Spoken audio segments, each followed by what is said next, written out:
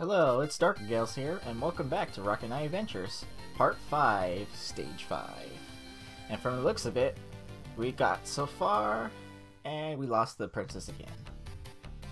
But it looks like we're flying, another flying stage, and we got giant bullets with spikes on them. I don't know what's with the spikes on them, but you think the impact would be an explosion, so what's the point of even having spikes on them? And we got some flying pigs out of nowhere.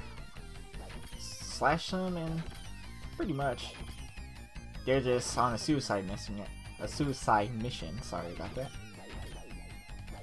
Just slash one by one, and oh my god, the battalion. Let loose, boys. We want that possum dead. Yeah, they're not gonna touch me. They can try, but they won't touch me.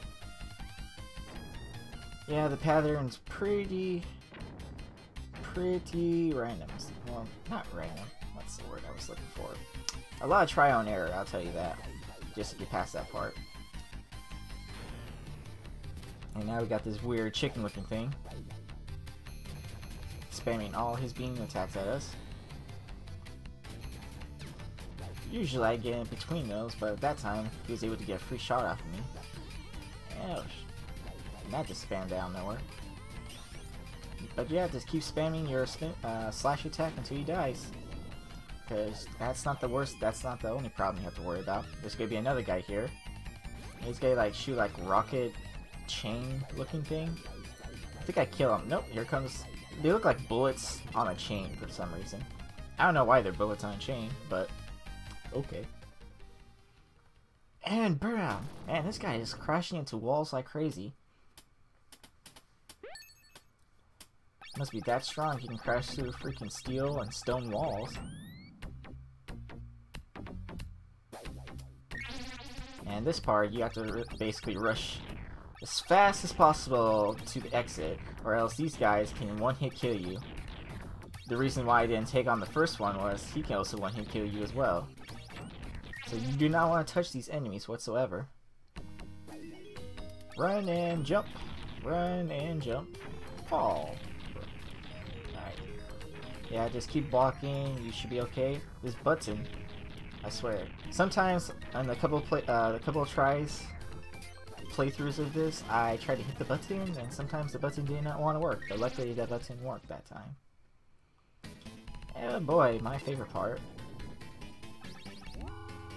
It's a moving side-scrolling platform level thing? I don't know what it is, or how to call it. I know it's a side-scrolling part. It's not really side-scrolling, it should be vertical scrolling? I think that's how I think that is. Yeah, I'm pretty sure it's vertical scrolling. If not, I don't know, vertical or horizontal. I don't know.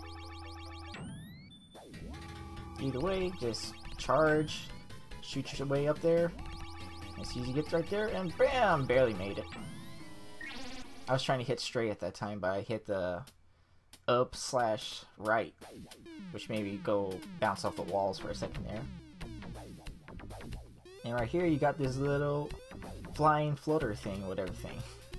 Spinner propeller thing. And basically what you gotta do is just hit those things, makes you go up, and makes you go down. The thing is, you have to hit it twice to make sure the direction you want to go goes the right way.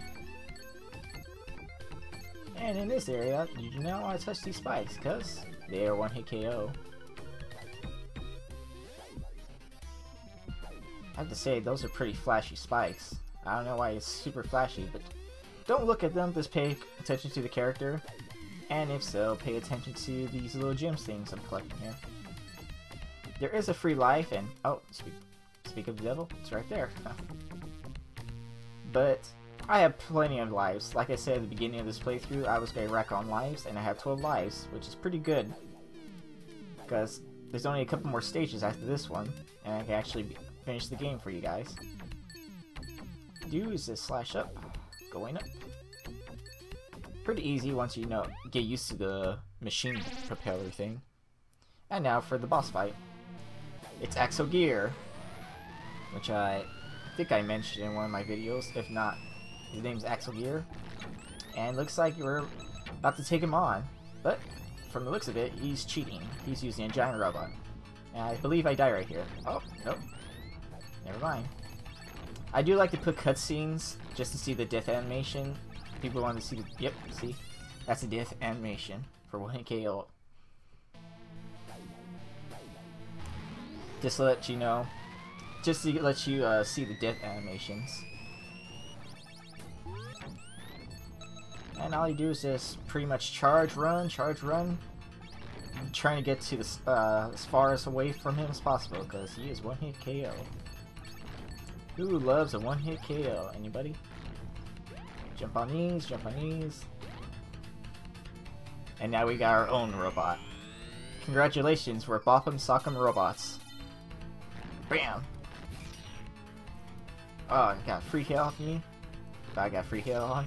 Right back in him, twice in a row. Come on, buddy. Basically, this can go two ways. One, he can either get you, or two, you can get him.